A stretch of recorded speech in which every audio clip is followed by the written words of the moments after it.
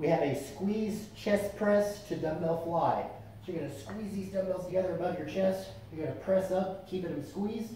After you get to the top, you're gonna keep a slight bend in your elbows, dropping these down to your sides.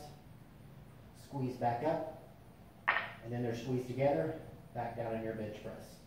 So up, dumbbell fly, back to the top, squeeze them together, back down to your chest.